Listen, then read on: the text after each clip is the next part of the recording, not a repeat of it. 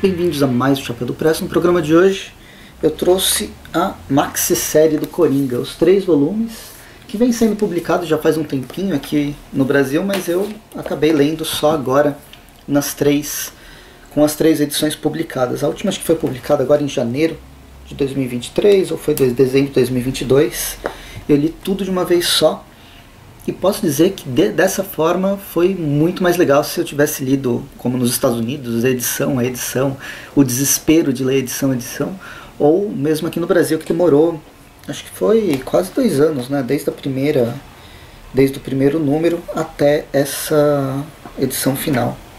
Bem, aqui a gente tem 15 revistas, 15 revistas, é, 15 edições mais uma edição especial, tipo um anual eles dão o nome de anual até para essas séries que são encerradas. Mas enfim, é uma iniciativa do James Tynion IV, tem vários desenhistas. Aqui no início a gente tem, por exemplo, o Guilherme Mark, mas para o final, as últimas edições, já está o Giuseppe Camuncoli.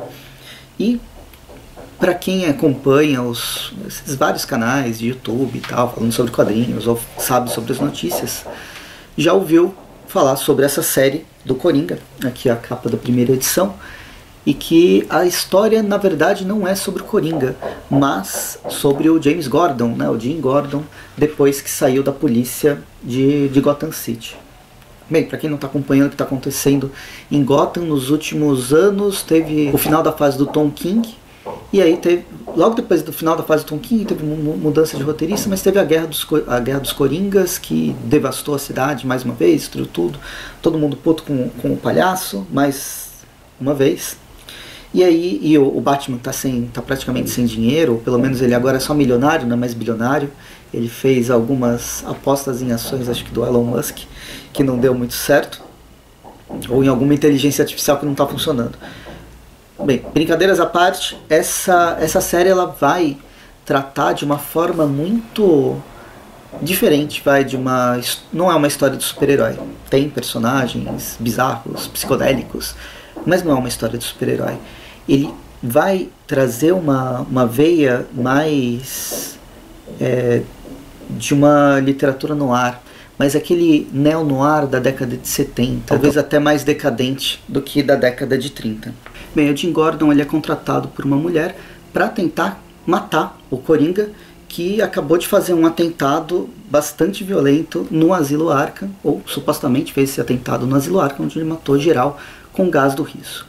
A gente tem desconfia que pode ou não ter acontecido isso. Bem, o Jim ganha um cartão de crédito sem limites para ir para onde ele quiser e aí ele vai atrás do, da primeira pista de onde está o Coringa. É uma história que, embora tenha essa, essa pegada de perseguição e esse terror muito muito pesado, acho que o principal que vai se desenvolver é esse psicológico do Jim Gordon caçando o seu próprio pesadelo.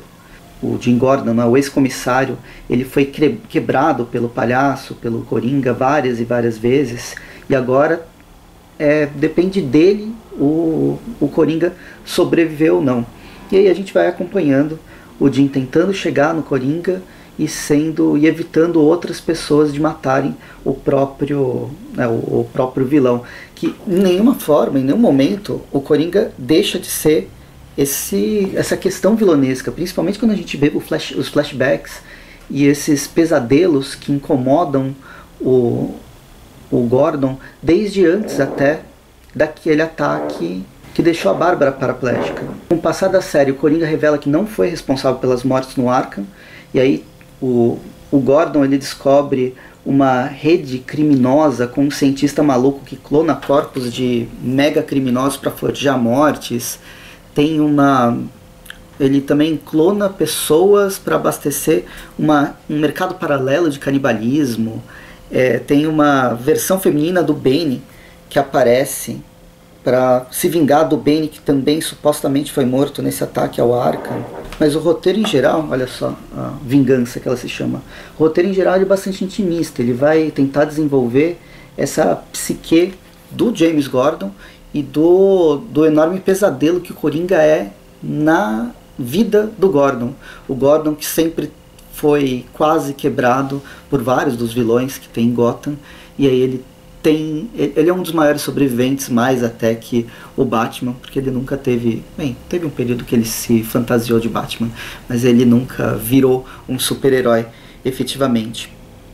É bem, é bem interessante que vai acompanhar justamente essa, esses conflitos internos na relação entre matar ou não matar, o que, que é certo, o que, que não é, questão de ética, moral, que vai estar tá embrenhado no James Gordon desde que ele foi para Gotham City para salvar, salvar a cidade, liberar a cidade da corrupção generalizada. E durante os flashbacks a gente vê que a corrupção que ele, que ele acaba com a questão da polícia, com a questão dos, da, dos políticos da cidade e das, do crime organizado, não preparou ele para o que vinha depois desses, dessas criaturas malucas que começaram a surgir e matar sem controle nenhum. Tem uma toda essa história do flashback que são é um, é um outro traço até que a gente vai acompanhar. Ela vai trazer essa, esse desenvolvimento do Gordon desde, do, desde que ele chega na cidade até um pouco depois do ataque que deixou a Bárbara paraplégica.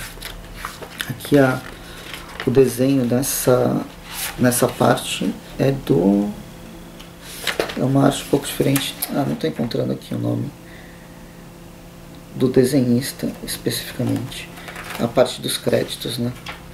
Mas é uma é uma investigação bem interessante, é um desenvolvimento bem interessante do personagem do James Gordon, principalmente, da relação do Gordon com o Coringa, da relação do Coringa com a cidade de Gotham City, né? Aqui é o, o Francesco Francavilla que faz a arte nessa parte, nessas edições que são só de flashback.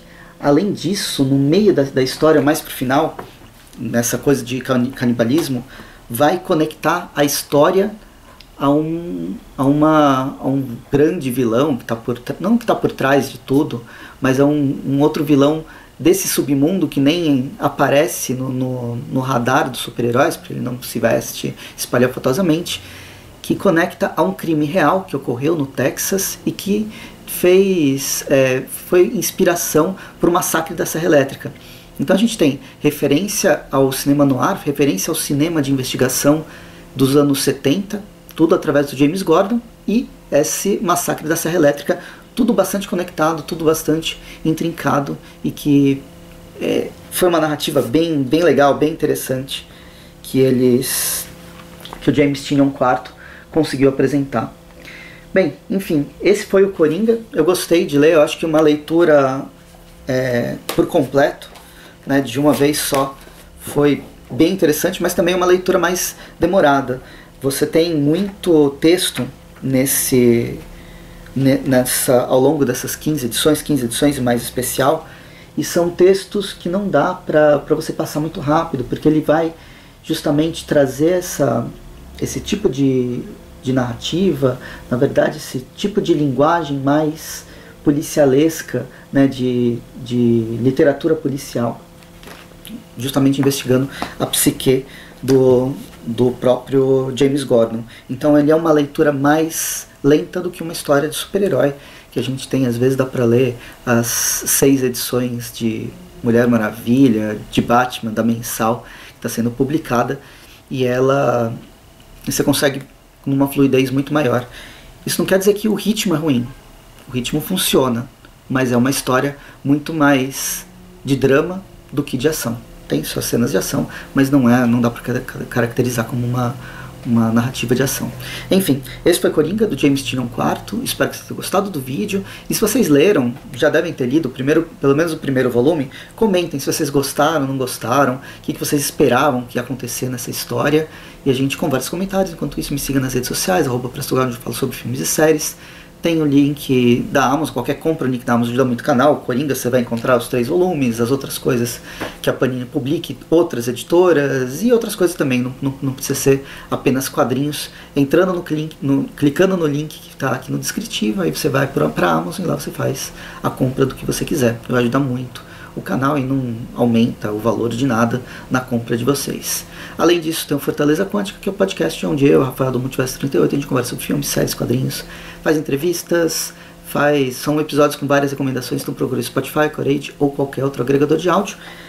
É isso, vou ficando por aqui. Até mais e bons quadrinhos.